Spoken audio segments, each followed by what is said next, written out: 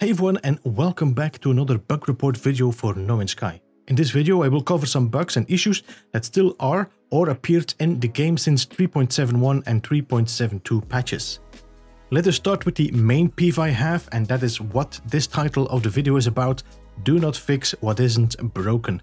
I have no idea why this was taken out, but it has ruined a few techniques for glitch builders. With the 3.71 patch note, they have taken out both rotation and free placement in the wire menu. The free placement allowed us to free place supply pipes, ByteBeat cables and teleport cables on whatever surface angle and use them for decoration purposes. And the free rotation of the wire gave us immense control over the direction of how our wire glitch would be placed. This was something that was not broken and had no need to be fixed. Even if you do not wish to have this as part of your controls bar, it would have been handy to still have the function of it. Please return that option. The next bug that was noticed has to do with power. As you can see I have set up a small mineral farm here and it's working nice and fine. The solar panels charge up the batteries and get the extractors working. The batteries should take over once the sun goes down. But when I remove the four solar panels, the extractors stop working. Even with two fully charged batteries and having the wires showing as powered, the extractors stop working.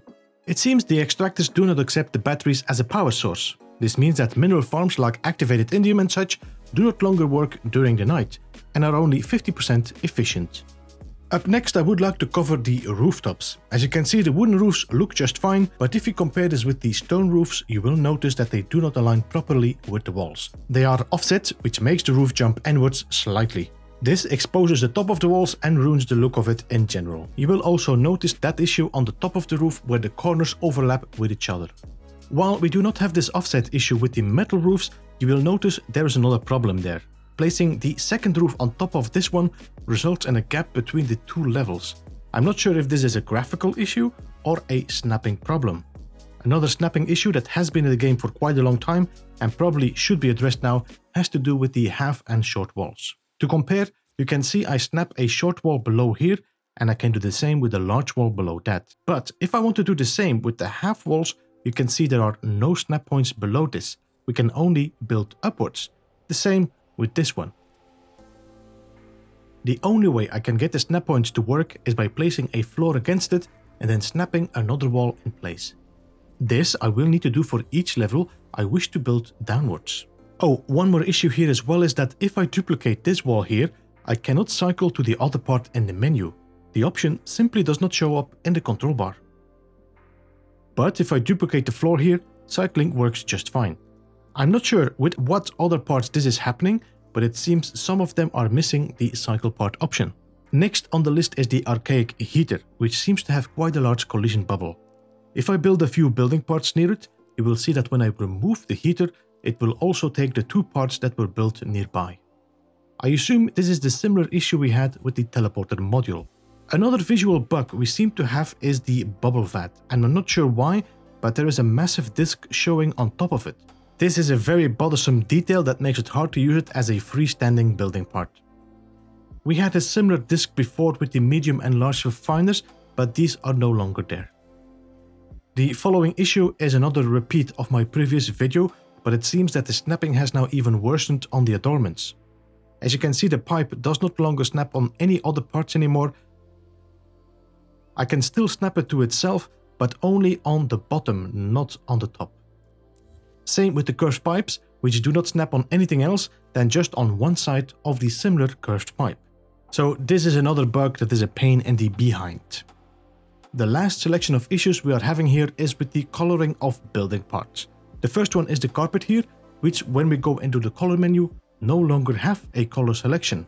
We only have the textures which have no use on the carpets. And the same happens with the cement bag. Another thing that I noticed is that the covered brick pile does not have the same decorative colors as its thumbnail image. Once built, it is just a white cover and it cannot be changed in color. I also noticed that many building parts have the option missing to color it, but still can be colored with a workaround. For example, the appearance modifier does not have the option to color, but when we use the cylinder to color that, it is possible to have the same color on the modifier. That makes clear this was meant to be colored, we are just missing that option. One last thing that needs to be covered is the colors for our walls and floors and the fact that they are different per material. If you compare the metal wall with the colors you get for timber and stone, and then compare that with the legacy part, it is clear we are missing colors for those materials.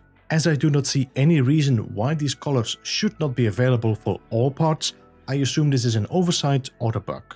We are also missing an option to revert the building part to its natural color.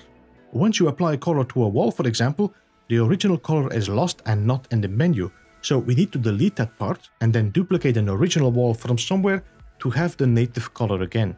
Or you have to reload your game so the game forgets the color you were using. Alright, these were a few issues that were noticed by myself and members of the building community, and we would like to see these fixed so we can take full advantage of all building parts and techniques. Please consider returning the rotation and free placement of the wire as this gave us much more freedom in building. Many glitch builders got slightly demotivated because of this as this was in our opinion an unnecessary fix. I appreciate you for watching this. This video was made to help you understand better what bugs and issues we are encountering. I also hope this helps out other builders in understanding that they are not the only ones with these problems. If you want to report your issues, please follow the link below in the description and check out this video if you don't know how to report bugs to Hello Games. And that's gonna be it for me today. Thank you so much for joining. Have a great day, this was Beeblebum, goodbye for now.